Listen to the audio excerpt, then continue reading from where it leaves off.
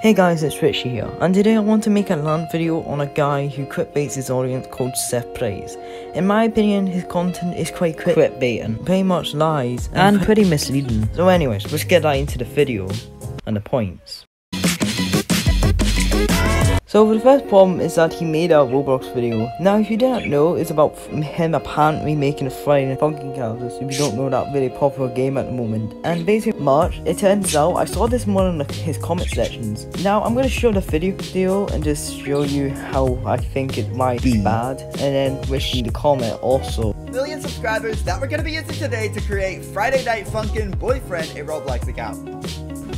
Haha, yes, if you somehow like this video, you magically get one Robux. Yeah, totally, man. Also, did this guy seriously have like 1.5 million Robux? Like, he's probably spent over millions on Roblox. I mean, not even I would do that, to be completely honest. Also, it's also misleading because he basically said it's all the finite funkin' characters that according to this guy and seven other people, um, he didn't even include the girlfriend. So he technically can't even call it all the characters if he's missing one character. Yes, it could be maybe a mistake, but still, oh, he should have realized that. On to the next point of my LAN.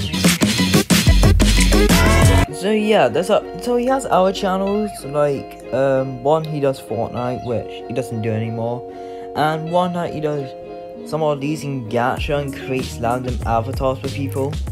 Bro, you're like 23. Now, I don't know why, but he also commented with his second channel that he uses and basically saying that nice video. I don't know if he forgot to switch accounts or not. And he has an channel called Seth Craft, and some reason he asked a YouTuber called Exploding TNT to comment on his video.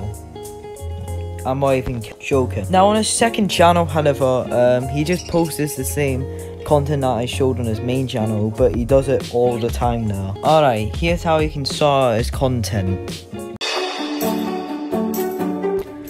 So firstly, his videos about making um, characters for fictional accounts is should, should be renamed to something like, like how to make something, how to make insert character. In my opinion, this would be a lot more better as it's not misleading and it actually shows you how to make the character. Uh, another thing is, he should also improve a bit on his content and editing in my opinion, and that he should make it a bit more enjoyable for me.